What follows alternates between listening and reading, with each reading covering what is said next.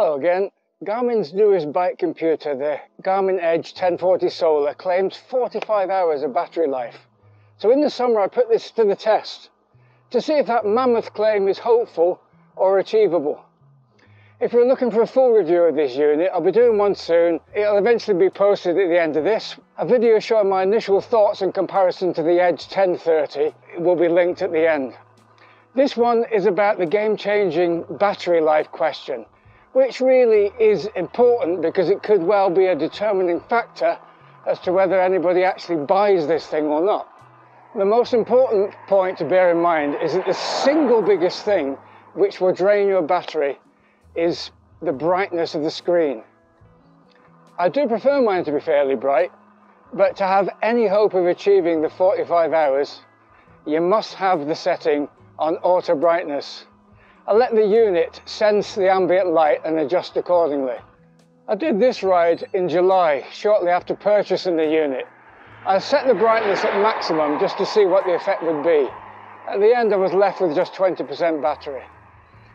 I didn't used to use auto brightness, but after a while you don't really notice it. It reminds me of how I thought I'd never cope with coffee without sugar. After a couple of weeks, it's no problem. A bit of a weird analogy that one.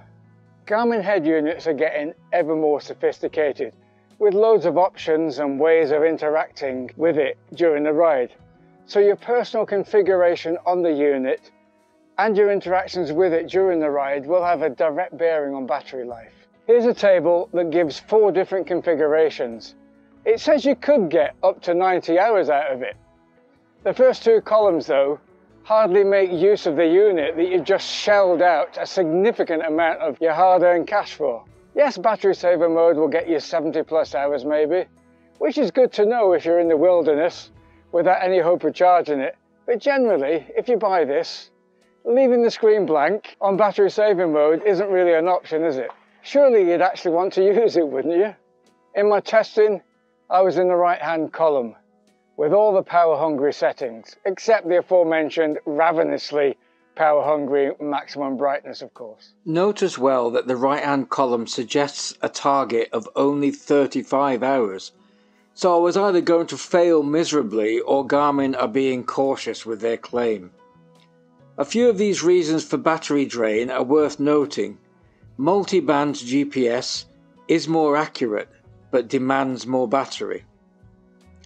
Pairing sensors with your unit uses more, as does how often the sensors interact with the unit. So I was riding with heart rate monitor, Varia radar, speed sensor, and my electronic Di2 gear shifting, all constantly transferring data. So plenty of notifications, especially from the radar, and plenty of user interactions from me during the ride. Finally, if and how your navigating makes a difference too. So if following a course rather than just free riding, you have the turn by turn notifications using more battery and having the screen on the map page uses more because the unit needs to keep refreshing and redrawing the map as you progress. So I had it on map screen most of the time. So in August, I began a series of rides without charging it in between. And here's how it turned out. The first ride then was on the 22nd of August on a fairly hot sunny day, and these are the screenshots taken from the Edge unit in the ride summary. We need to be measuring how long the unit is switched on though, so ignore the time because I was faffing a lot and filming for another video, so I was out with the unit switched on for around 6 hours.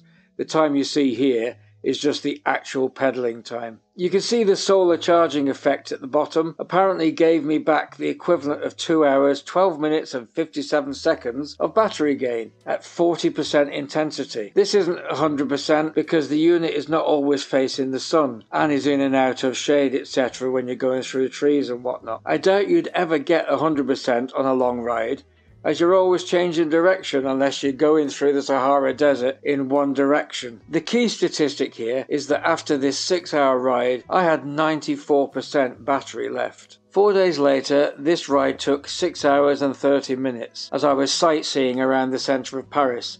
It was overcast for most of the day, and because of the constant traffic most of the time, the Varia radar was working overtime, constantly sending notifications to the head unit. So it's interesting to see the combined effect of less solar charging but a high level of sensor usage, resulting in finishing with 78% battery. Ride 3 on the 1st of September was a cloudy day, and I was out for around 4 hours and 25 minutes, with 66% battery left at the end. Ride 4 was a completely different affair. It was an indoor trainer ride fundraising for my adopted charity. So, completely different demands on the unit's battery the only sensor was the smart trainer that the bike was attached to, although that does send a lot of information to the head unit regarding speed, cadence, and power all the time the pedals are turning, but no navigation and no Varia radar. In total, the unit was switched on for 8 hours, and God knows how I got a couple of minutes battery gain. Obviously, a chink of sunlight came through the window, I guess. So I used 13% of the battery on that day, taking it down to around the halfway point at 53%. Next day, another cloudy 53 mile ride with me out for around 4 hours. 8% of battery used, so 45% left at the end. Then a series of similar rides. Ride 6, weather cloudy and out for around 3 hours 45 minutes, taking me down to 38%. You can see on these cloudy days there isn't a great deal of help from solar charging. But let's not forget the times that we probably all had when the battery went flat before a ride was finished. And that small 10 to 20 minute boost that we're getting here would have saved the day back then.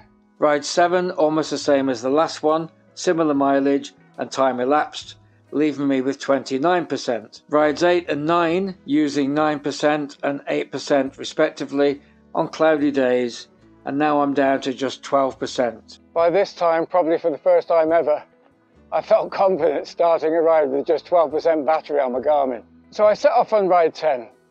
It was intermittent sun for four hours, leaving me with just 6% at the end, which remarkably, at this rate, would be enough for another 20 mile or so ride, but I didn't push it and called the experiment a day.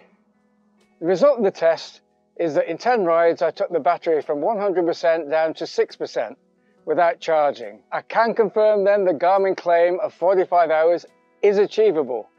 I managed to use it in that time for 47 hours and 55 minutes since the last charge. Quite often when switching it on before a ride, I noticed the battery level was 2 to 4% higher than when I switched it off after the previous ride. I can imagine that might be something to do with the gain through solar charging, but I can't be sure. So basically as a guide, you're looking at 2% per hour used. And that's with plenty of interaction with sensors and me switching between screens whilst using it on the bike. And of course, if you're in much sunnier and hot climes, you're going to do better than that. I remind you that the auto brightness settings is key here to get these kind of results. But if you're like me and you prefer it a bit brighter, well, I don't intend to do many rides, well, i.e. none, of 10 to 50 hours duration. On the basis that I can recharge after each ride, I'll do that and have a slightly brighter screen, saving the knowledge that if I ever do a multi-day event, I can switch on auto brightness and that's one less gadget I need to worry about charging. Well, I hope that helps you and was of interest. And if it has, it would really help my channel if you would give the video a thumbs up and subscribe below for more cycling content. A full review of the Garmin 1040 Solar will be here soon, but my first impressions and comparison to the 1030 when I first bought it will be on the video here. So thanks for watching, happy cycling, and I'll see you soon.